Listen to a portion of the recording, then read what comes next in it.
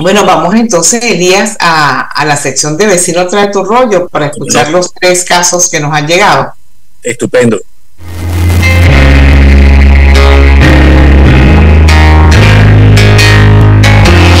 Hola, buenos días, gusto en saludar. Este, miren, mi nombre es Carlos Hernández. Este, yo le quiero hacer una consulta, o sea, yo sé que, no sé si esta sea la vía regular de hacerlo, porque, o sea, yo siempre escucho su programa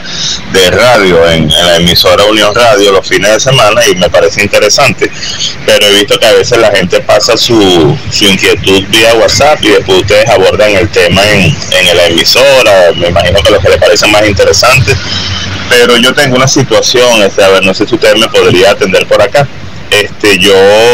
yo soy presidente de una junta de condominio del edificio donde vivo, en Artigas, y la junta estaba conformada por tres personas, la secretaria, el tesorero y mi persona, que soy el presidente. Pero el tesorero tuvo que renunciar porque le salió una oportunidad laboral fuera del país y bueno, tenía que aprovecharla y se fue. Entonces mi pregunta es, yo como presidente de la Junta de Condominio tengo la potestad de decir, bueno, este, como el tesorero se fue, yo yo voy a asumir también ese cargo, pues voy a ser presidente y tesorero y me quedo trabajando con la secretaria o necesariamente tengo que llamar a asamblea y nombrar a un nuevo tesorero. Y la otra pregunta sería que en caso de que sea la segunda opción, que yo esté obligado a llamar a asamblea y nombrar un nuevo tesorero, si ese nuevo tesorero tiene que ser por votación de, de los propietarios, o yo, o yo puedo decir, no, mira, yo quiero que mi tesorero sea tal persona porque es alguien de mi confianza y eso es un cargo que, o sea, que uno tiene que trabajar con alguien que sea de su confianza. Entonces, bueno, eh, si usted me puede hacer el gran favor de, responderme por acá, se lo agradecería mucho, porque es que mañana tenemos reunión de condominio y entonces, bueno, yo necesito tener esta respuesta para, para abordar el tema. Muchísimas gracias, que tenga un feliz día y una feliz semana. Saludos. Bueno, el señor Carlos, eh, esta pregunta es bien interesante porque no siempre Elías está muy claro cómo debe procederse en aquellos casos en que van quedando cargos vacantes de la Junta de Condominio. Siempre he pensado que eh, la gran mayoría de los condominios que conozco se quedan cortos en este tema de reglamentación o no tienen reglamentación para poder eh, eh, regular el, la, de una forma más práctica, más allá de lo que de lo que el sentido común nos dice que hay que hacer con las vacantes, ¿no? Porque fíjate, la pregunta del señor nos dice que hay una gran necesidad de información. Y, de alguna manera él piensa, bueno, me puedo quedar yo con los tres cargos, siendo presidente, asesor, como en la práctica ocurre, verdaderamente de hecho así ocurre, ¿no? Pero qué chévere que él este, pueda escribir y llevar esta, esta inquietud eh, a través de la radio, porque con la respuesta que damos, pues le podemos también darle información a otras personas que tienen la misma inquietud.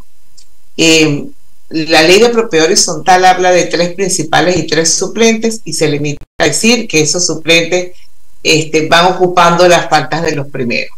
Y tanto en el curso del ABC de, las juntas de condominio como en nuestras eh, conversaciones con los vecinos, le decimos que lo ideal es que cada uno de los cargos eh, principales ya sepan pues, quién es su suplente para que este, estén preparados y además estén alineados con la información de cada uno de los cargos. Este es el deber ser. Esto es lo que eh, indica el sentido común.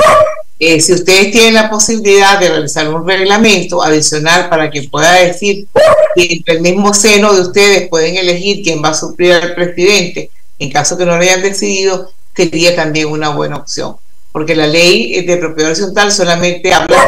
que se eligen tres principales, tres suplentes y en el seno, internamente, deciden quién va a ser ese presidente. Pudiera ser lo mismo para los suplentes, pero como les digo, eh, también pudiera hacerse con un reglamento práctico conocido por la comunidad de qué ocurre en el caso de las ausencias. Elías.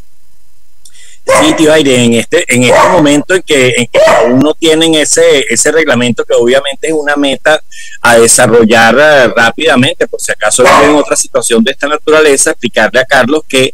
eh, va a suplir, como tú le decías, el, que sea el suplente de tres principales, tres suplentes, el que sea uno de los suplentes a su, a su tesorero. Y eh, no tienen ellos que realizar una asamblea En el caso de que, en, este momento, en el caso de que tuviesen eh, que nombrar a un tesorero porque no tienen un, suplente, eh, Carlos, mira, no, no lo puedes designar tú. Yo entiendo que la, eh, la, comodidad que implicaría designar a un vecino que tú conozcas bien, en el que tengas mucha confianza, que tengamos, tengas la certeza de que van a hacer un buen trabajo, van a conformar un buen equipo. Pero es la así como te eligieron a ti, que te eligió la comunidad de propietarios, ese suplente, esta persona que va a ocupar el cargo que otro vecino tuvo que abandonar, tuvo que hacer a un lado. Bueno, eh, la idea es que sea electo por la comunidad Hoy vamos a tener con nosotros a Yelitze Cortés y con Yelitze hemos aprendido que se pueden hacer estas elecciones de diferentes cargos para la Junta de Condominio también por la vía de la carta consulta, o sea que eso puede ser sumamente sencillo para tú sustituir a esta persona, para tú, para que la comunidad eh, elija, seleccione un nuevo tesorero. Tienes que recorrer la comunidad, conversar, saber si hay una persona o quizás haya dos personas que tengan eh, la intención, la voluntad, la disposición. Eh, y entonces se organiza la, consulta. Si hay una sola persona, pues es todavía más sencillo y se recorre, se forma a los vecinos apropiadamente que va a venir esa elección, se les dice quién es la persona que se está postulando y un día de, la semana o, en el fin de semana, bueno, se pasa a recoger eh, las firmas o utilizan el mecanismo del correo electrónico. Hay diferentes modalidades que ustedes pueden aplicar, incluso puede ser híbrido, puede ser eh, combinado. Pero sí tiene que haber una elección, una designación de los miembros de la Junta. Bueno, vamos a